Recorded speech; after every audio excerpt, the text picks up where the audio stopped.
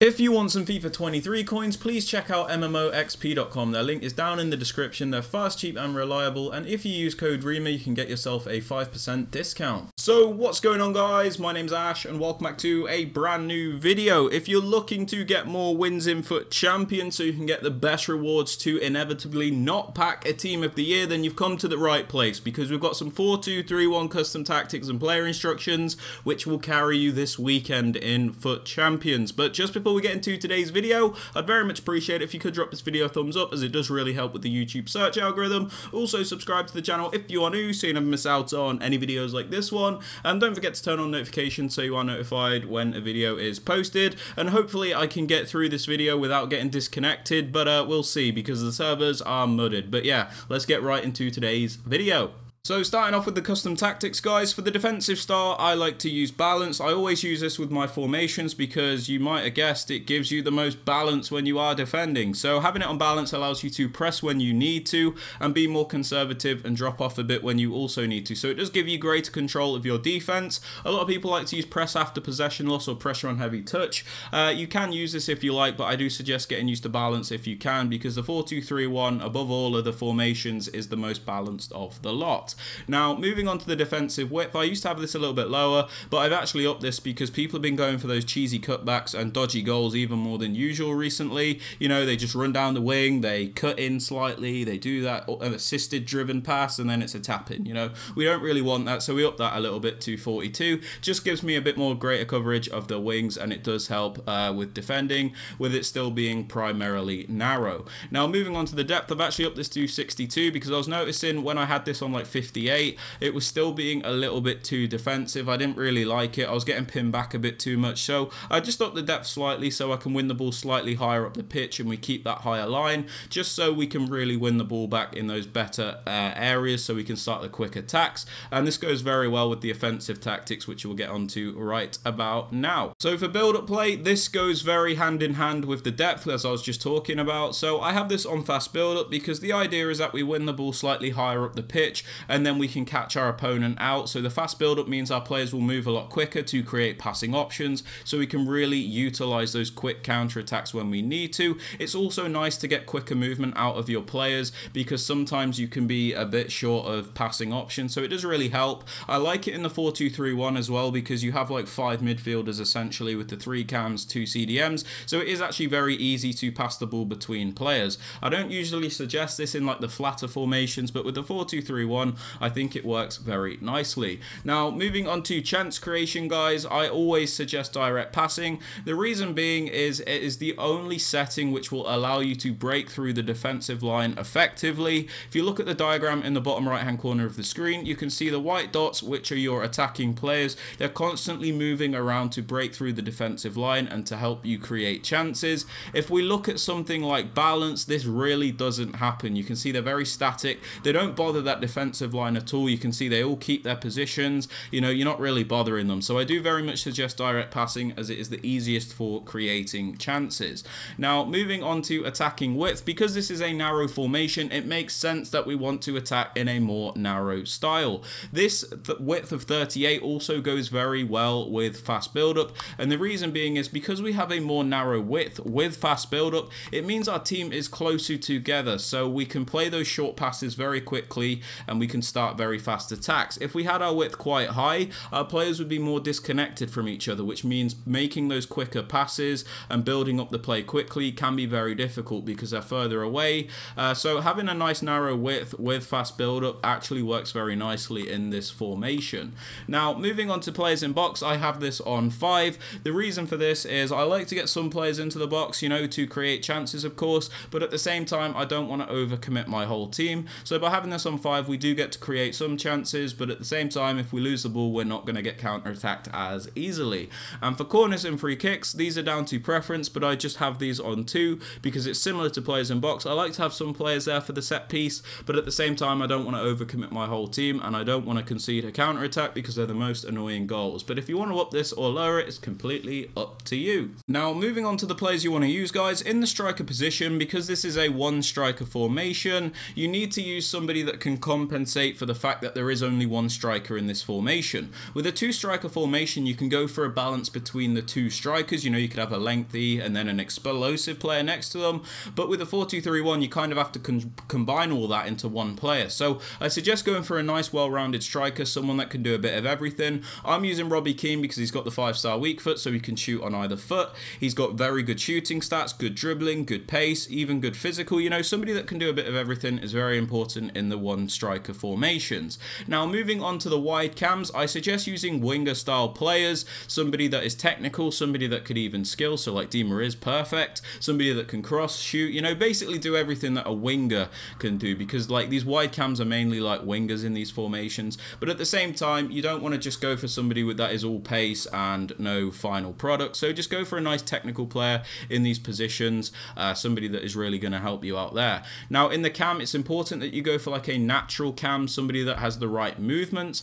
People with high, high work rates seem to be the best at cam, so someone like Phil Foden, someone that is agile, somebody that has the stats for a cam, you know, even like Bernardo Silva's perfect in this position. You don't want to go for like a striker in the cam position because you're wasting uh, a position there. Your cam's meant to be one of the most creative players, so it's important that you go for somebody that is good at playing in this position. It takes a long time to find somebody that you like in the cam position, but when you find that player that works, trust me, you will know that it works. Now, moving on to the two CDMs, I like to go for a bit of a balance between these two players. I go for one more defensive one in Patrick Vieira. This is somebody with very good defensive stats, somebody that is going to stay back and make life difficult for my opponent. It's important that you have this balance.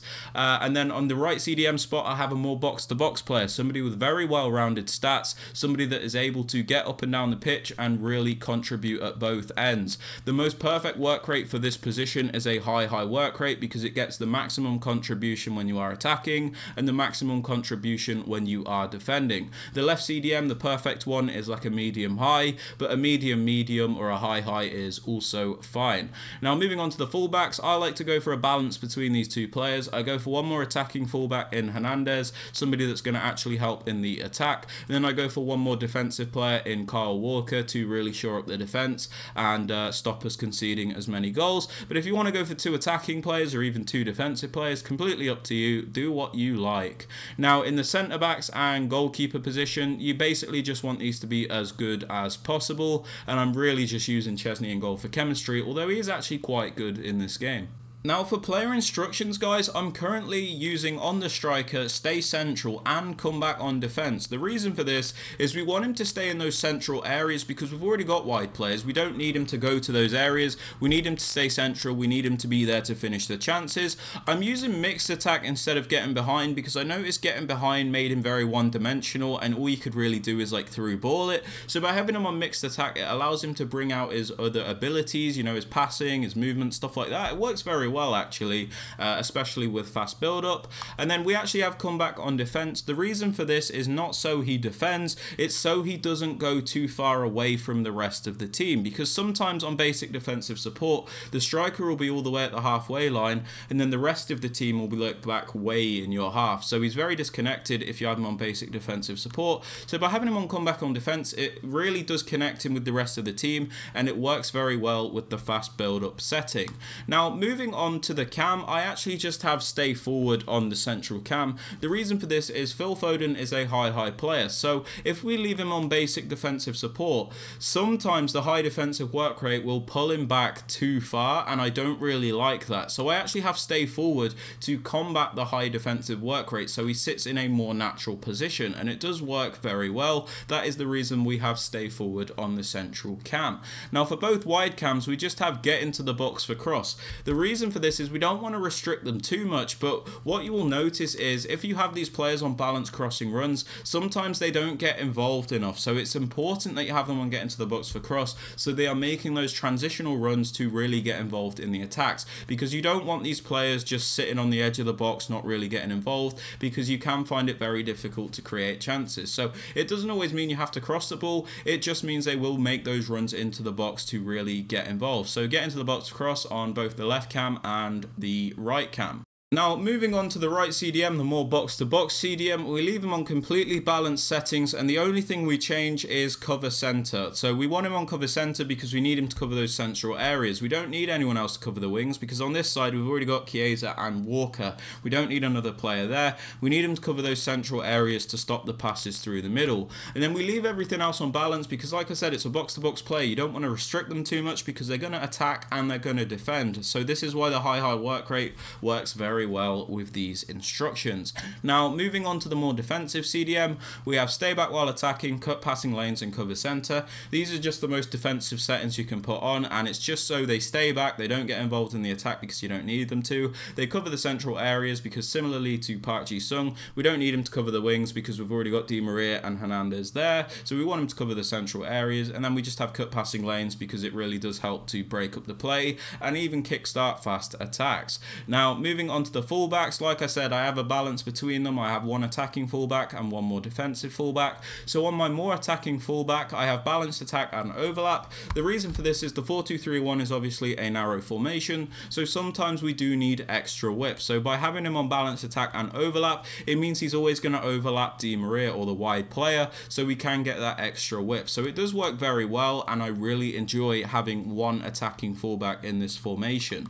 Now for the more defensive player, I have stay back while attacking and overlap because this is a more defensive player. We want him to stay back. We want him to help us defend. So we've always always at least got three defenders back as well as Patrick Vieira. And then we also have him on overlap because if he does go forward, if we do trigger a run forward with him, we want him to overlap instead of underlap so we get even more width out of the formation. And yeah, that is why we use that. But if you have like two defensive players, you could just put stay back on both. Or if you have two attacking players, you could put balance attack on both. It's completely up to you.